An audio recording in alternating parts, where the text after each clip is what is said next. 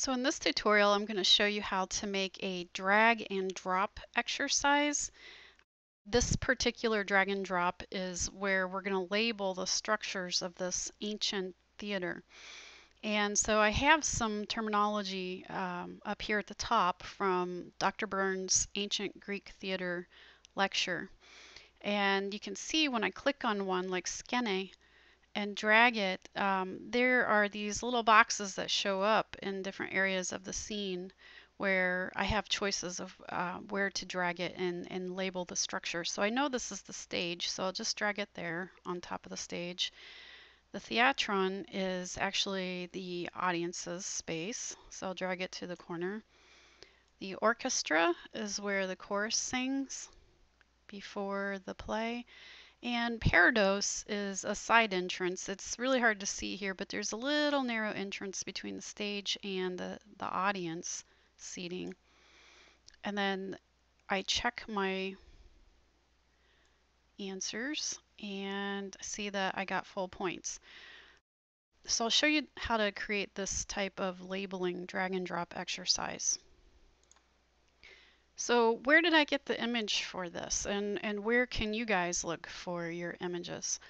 Um, for this particular example, I actually found a 360 video of Leptis Magna, an ancient theater in uh, Libya, and that was on YouTube. But I'm going to ask you guys, you can do a search on images.google.com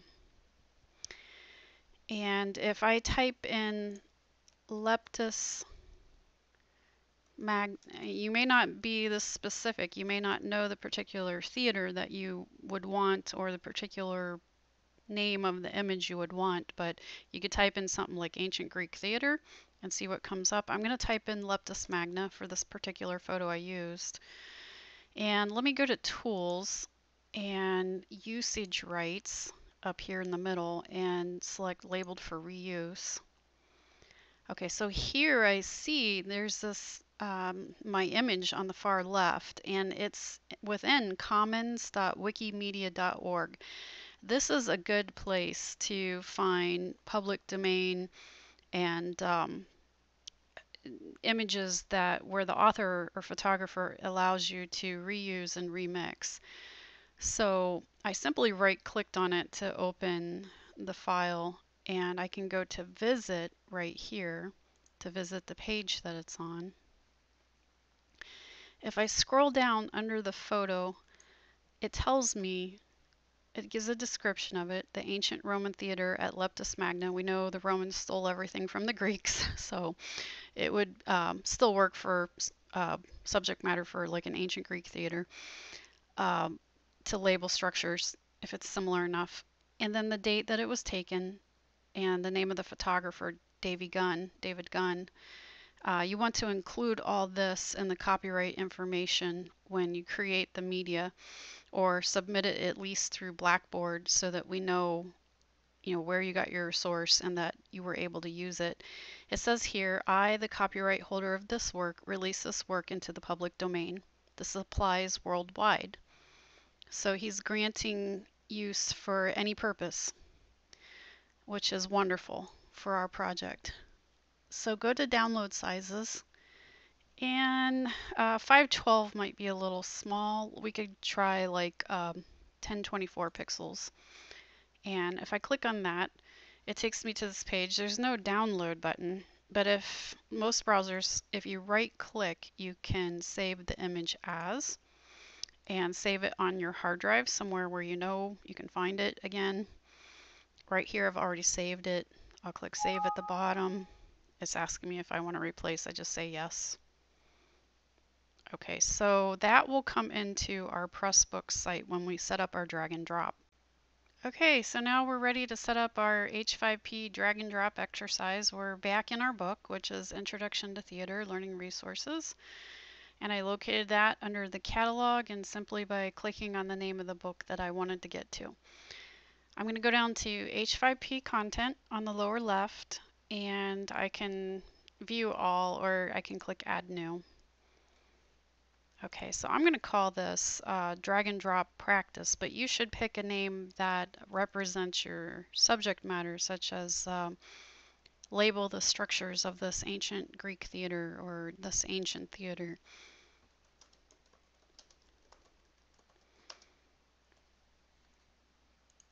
So for the content type, you click the drop down and it's right here at the top but if it's not you can scroll through all the types of content that's available to you and there's quite a bit. And find the correct one pick the blue button that says use next to drag and drop. And I'm gonna set my um, my image here where it says background image. I'll click the add button I'm gonna go to my file and click open Okay, so it says edit copyright information. I am going to put that in to make sure that I do this according to what the photographer wants. So I know this is Leptis Magna and our author was David Gunn. He was the photographer. He took it in 2006. Uh, for the source, I'm going to jump back to my um, the page where I found this image here. I'm just going to copy this URL at the top by selecting it, right clicking and saying copy. You can also do control C on your keyboard.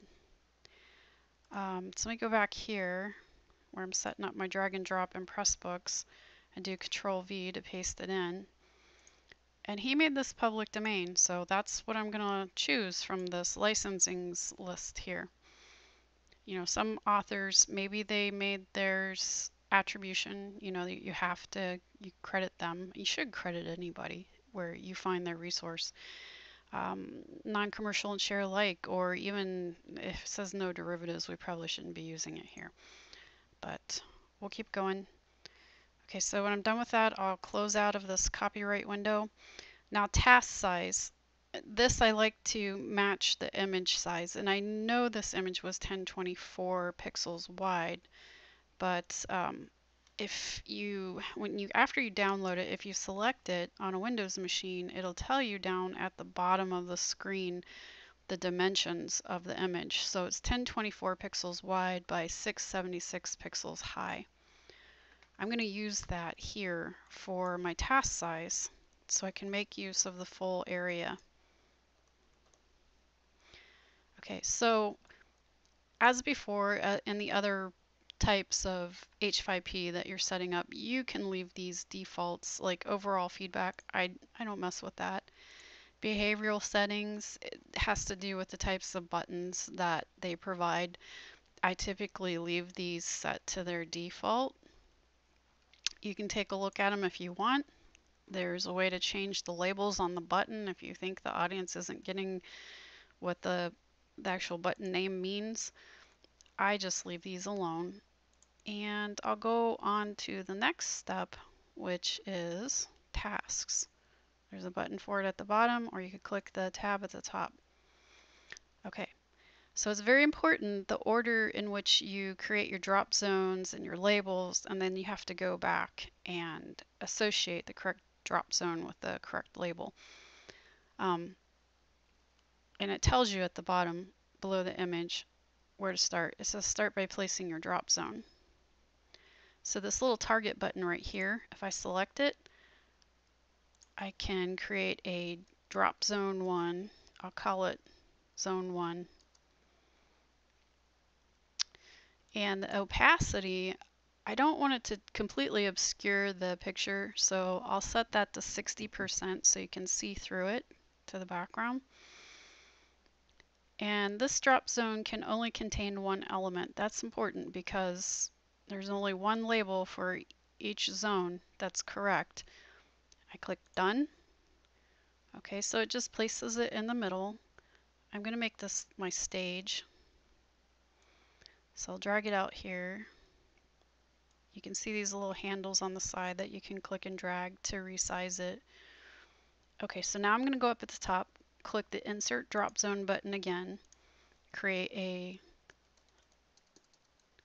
zone 2, set the background opacity to 60% and check off the box for this drop zone can only contain one element and click done. Okay, so it created it up here in the middle. I'm going to put this in the orchestra. This is going to be my orchestra label. Mm, you may want to try to keep them the same height and roughly the same size if possible so that uh, people um, don't associate certain sizes with certain drop zones. You, you want them to actually know what the structure is called. I'll insert a zone 3.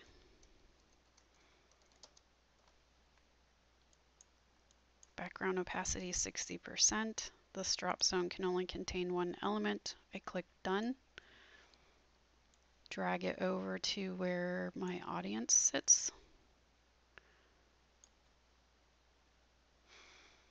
Okay, and I'll do one last one here called Zone 4, and this will be our Parados, that little side um, aisle where the orchestra, the people who are the orchestra come in to do the singing. So it's kind of narrow. It's it's between the audience and the stage, and it's a, it's a very narrow passage, but it's in there. It's in the photo. Um, so I'll do that.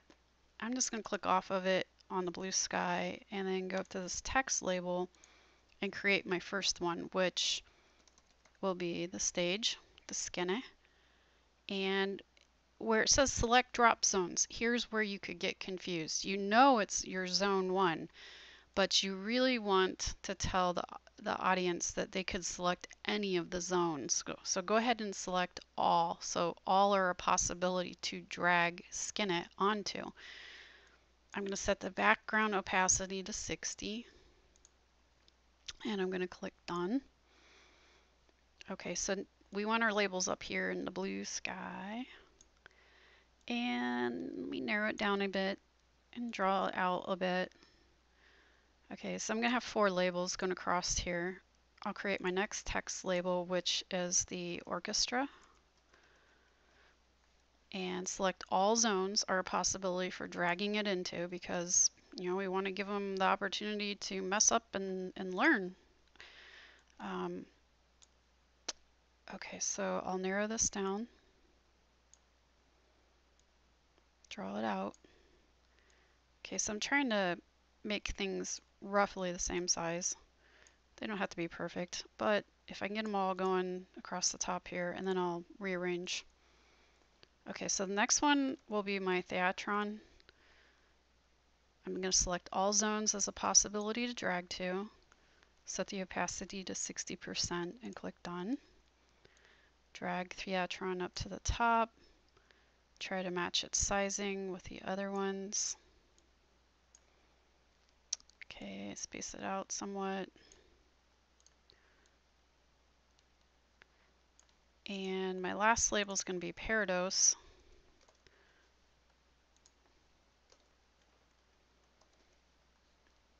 And I'm going to select all zones as a possibility to drag to.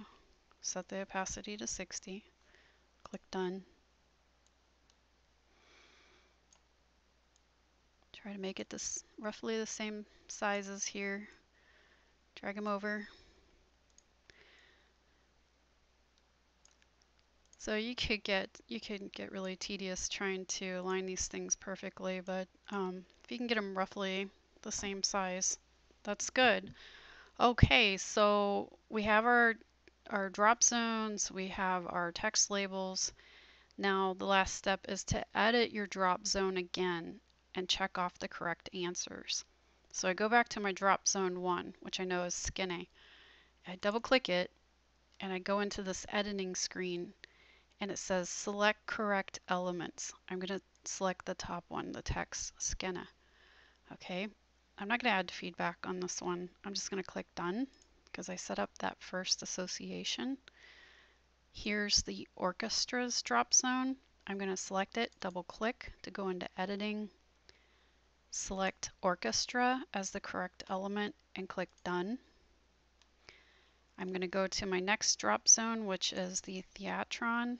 Select it, double click it, select the text Theatron, click done. Go to my last drop zone, which is our Parados. Select the text Parados and select done. Okay, so I've got my associations in. Now I'm going to go up to the top and don't miss this little red create button up here at the far upper right. It's just an oddity of WordPress and WordPress based content management systems such as Pressbooks. Hit create. Okay, now is your chance to practice and see if it works. So I'm going to drag, drag skene to the stage orchestra to where the chorus sings here in the orchestra and I'm going to drag let's let's do something incorrect and see what happens. Let's drag the theatron to where the parados would usually be and drag parados to where theatron should be. And when the wheel stops spinning there we go I'll hit check. Okay so it picked it up. We know we set it up correctly.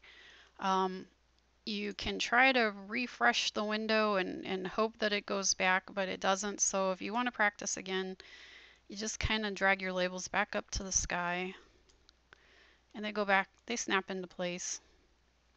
Okay, so now if I do this correctly this time,